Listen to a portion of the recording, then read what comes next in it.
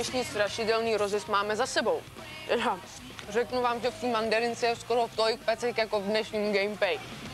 Nevěříte? První peckou jsou Clones z alba v severoirské partičky, která se říká Ash. Dalšími budou novinky z prostředí hvězdných válek. Mrkneme si, jak zodpovědně vykonávají svou práci maníci z republikového komanda. Poté se spolu s rytíři Staré republiky vydáme na křížovou výpravu. Dále se podíváme do světa Warcraftu. Ale nejprve si dáme spršku studeného strachu. PC verze hororu Cold Fear by měla být v tuto chvíli již na světě, takže si pojďme říct něco bližšího. Jako příslušník americké pobřežní stráže jste povolán do služby s úkolem prověřit ruskou velrybářskou loď uvězněnou na rozbouřeném moři.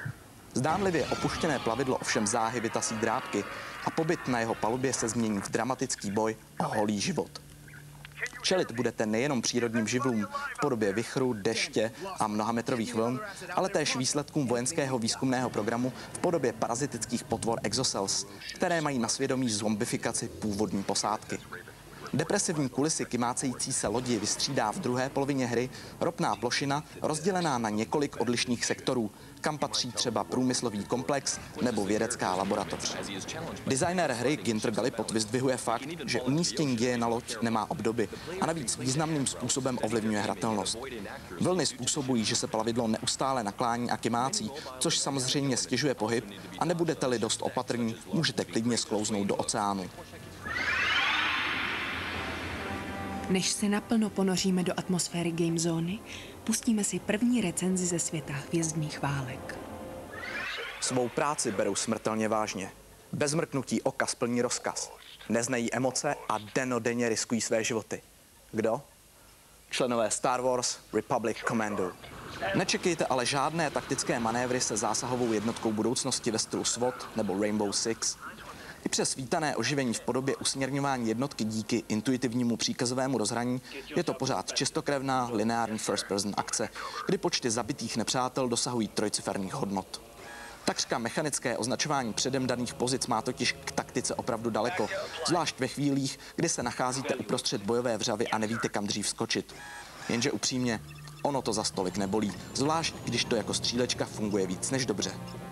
Ve hře jste povýšen do role velitele zvláštního komanda, které vysílají do akce vždy, když republice teče do bod a je na čase provést nějakou tu extra nebezpečnou, záškodnickou a hlavně přísně tajnou operaci, nejlépe kde si v týlu nepřítele.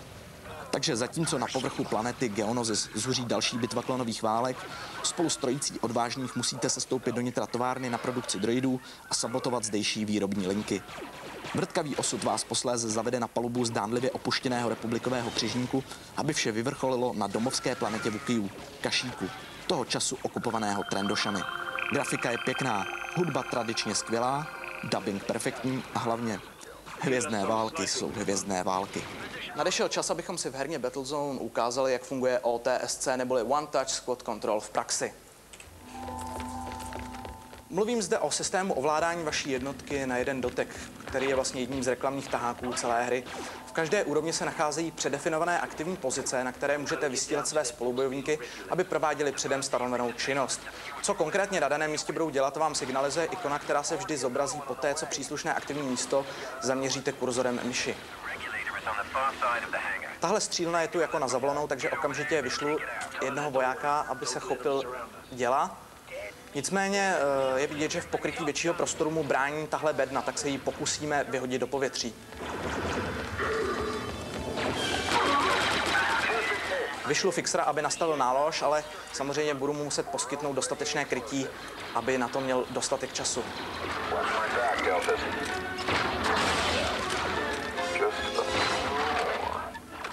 Kolik nám zbývá? Ještě tři sekundy do nastavení nálože dvě, jedna, nula. Teď ho pošlu tady za barikádu, aby ostřeloval nepřítele, no a můžeme překážku vyhodit do vzduchu a náš kolega bude mít konečně víc prostoru, aby ostřeloval nepřítele. Na závěr našeho povídání ještě pár slov ke zbraní. Kromě základní pistole sebou ještě nosíte blástrovou pušku, kterou lze v případě potřeby velmi snadno přeměnit na snajperku.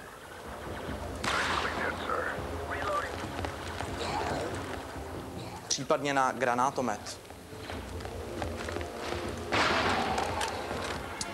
Trendošanská brokovnice je v skutku smrtící na blízkou vzdálenost. Jenom si musíte hlídat stav munice, protože její přebíjení trvá poměrně dost dlouho.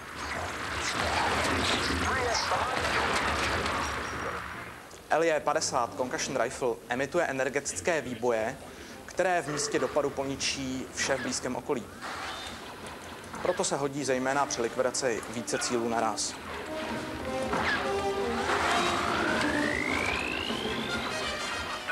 Vůky Baucaster je klasika populární i z jiných Star Wars her. Ho projektily se odrážejí od stěn. Jo, akorát se musím zbavit ještě tady tohohle nepříjemného robota. Čili projektily se odráží od stěn, přičemž eh, v módu se zaměřovačem podržením levého tlačítka můžete násobit sílu vystřelovaného paprsku. Na úplný závěr si dáme vukijský raketomet, což je macek, který zabírá takřka třetinu výhledu, nicméně se vám za to odvděčí při likvidaci nebezpečných cílů, jako je právě tenhle droidek. It's a droid dispenser. Bloody perfect. Take cover. Vážení diváci, pokud jste ho ještě nepoznali, tak tohle je Jira Sládek z GameStaru. Nazdar Jiro. Čau, čau, ahoj. Hele Jiro, mě tě tak vrtalo hlavou, jakou máš vlastně krevní skupinu? No to je dost divná otázka, ale myslím, že ABRH minus. No vidíš, ale já jsem si vždycky myslel, že jsi RPG pozitivní. Jo takhle, no tak herně určitě, RPGčka mám rád, to je pravda. Vidíš, eh, já mám taky RPG pozitivní a věřím, že řada z vás má taky RPG pozitivní. No a právě vám je určen následující blok. Uplynulé týdny byly na hry ze světa Star Wars v skutku štědré a kromě republikového komanda nám nadělili i druhý díl výtečného RPG Knights of the Old Republic s vysačkou The Sith Lords. Obavy z předání vývojářského žezla lidem z Obsidiánu se naštěstí ukázaly jako liché a dvojka je minimálně stejně dobrá jako jednička, nebo je prakticky totožná. Ovládání, vývoj postav, souboje, vše zůstalo při starém. A to je dobře. Strhující příběh se pro tentokrát točí okolo veterána mandaloriánských válek, posledního žijícího Jediye, jenž prchá před spáry temné strany síly, reprezentované ďábelskými sity.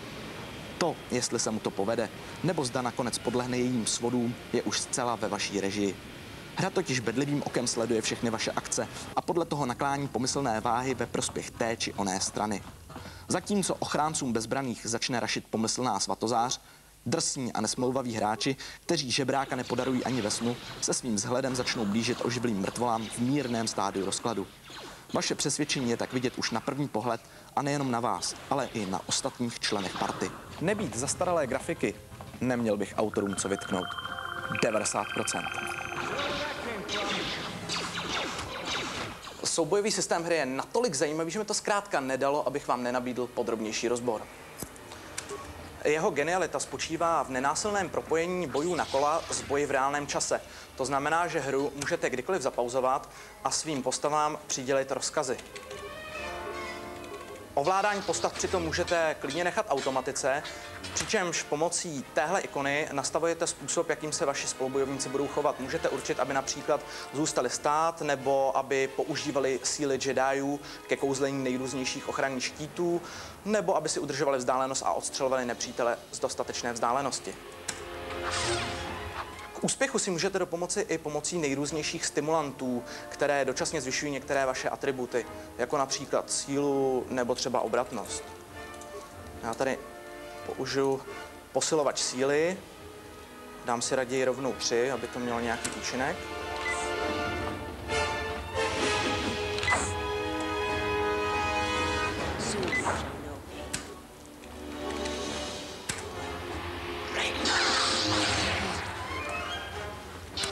Jinak v případě, když utrpíte nějaké zranění, můžete se vyléčit buď pomocí klasické lékárničky, nebo pokud některá z vašich postav ovládá sílu na léčení, tak můžete použít právě léčení, jako v tomto případě.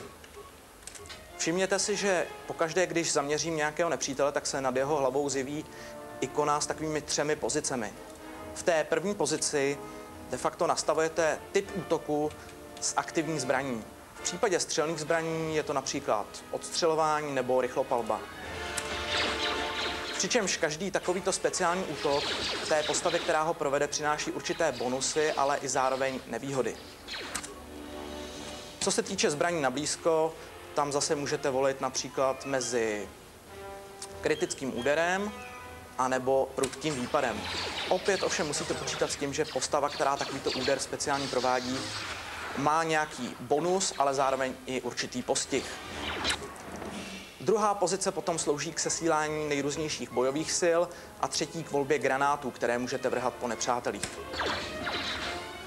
Ondra nemá na temnou stranu síly žaludek, takže my si teď předvedeme, co takový temný rytíř Jedi dovede.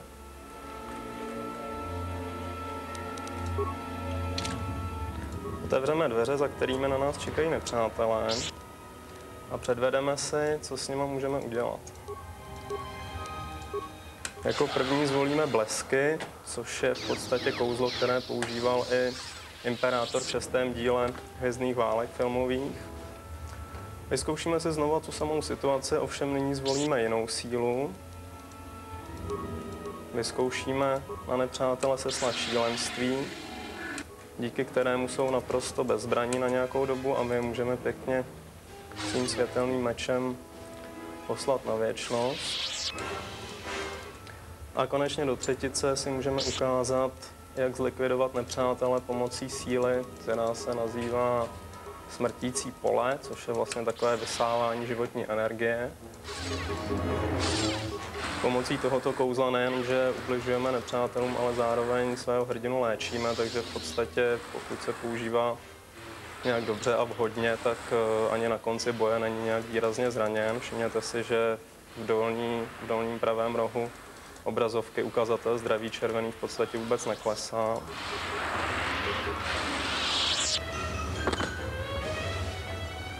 No a to jsou v podstatě takové nejzajímavější temné, temné síly, které můžeme v vězných válkách využít, ale jich určitě ještě mnohem víc. I shall honor them with battle. Jiro, díky moc, bylo to super a doufám, že se zase někdy brzo uvidíme. Počkejte, konec už? To snad ne? No, konec není, ale končíme s tebou, protože za chvilku přijde Honza Rod s novinkama ze světa Warcraftu a prostě mu tady nemůžeš zabírat místo, chápeš? To doufám, chápeš. No, snad nechci říct, že blábolení Honzy Roda je ti cenější než můj zasvěcený výklad.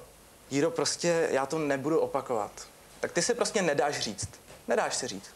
Dobře, chce se ti strašně na záchod.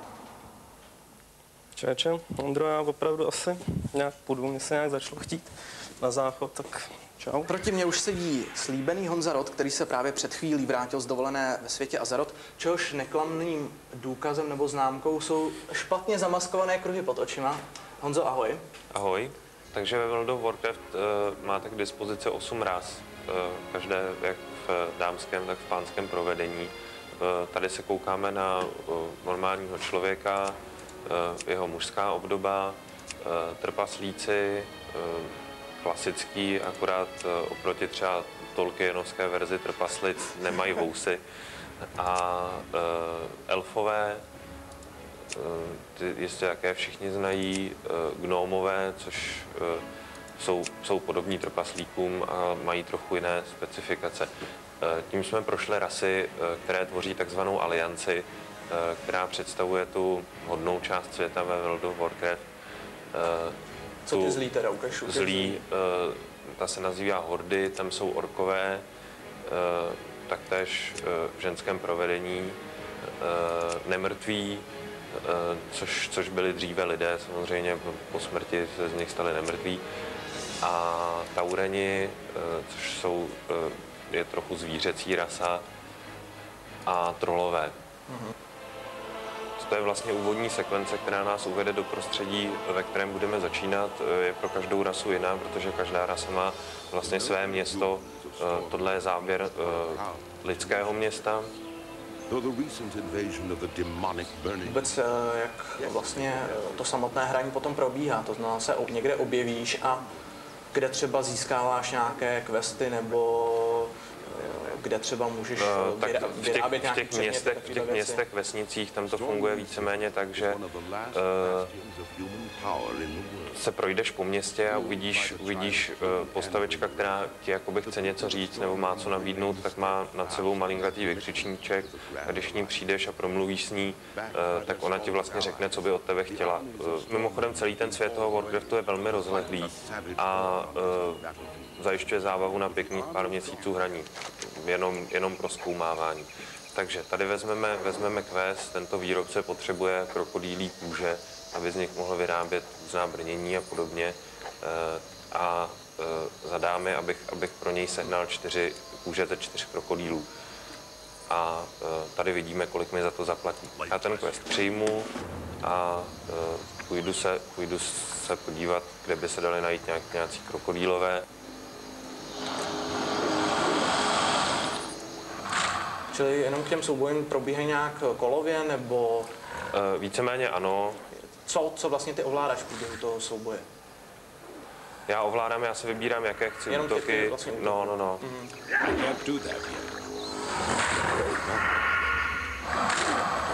Energy. Tady vidíme, že jsem ho minul. Krokodýl má úroveň 21, já mám úroveň 20. Eh, Měl by být trochu lepší, eh, ono je to trochu vidět.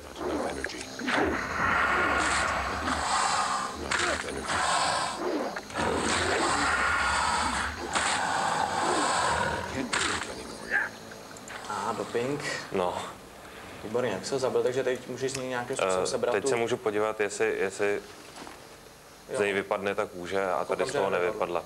Eh, Na těch questech vlastně spočívá velká počáteční část té hry, eh, kterou většina hráčů hraje sama, takže eh, a není, není až tak eh, skupinová. Eh, Víceméně jde o to se hlavně seznámit a seznámit s tou hrou a eh, nějakým způsobem eh, získat zkušenosti a, a naučit, se, naučit se v tom světě prostě chodit.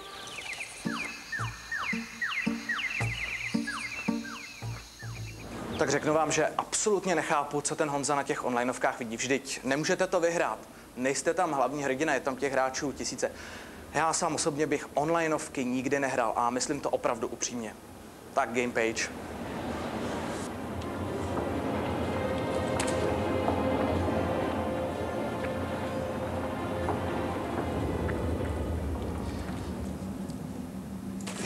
to, to, netoč to, netoč to, netoč to, netoč to. Pro boha, netoč to. Doufám, že vám ani jedna z pecek nezaskočila. Jako jednomu nejmenovanému Rýpalovi, který považuje svět počítačových her za úpadkovou a nemorální zábavu. Game Page.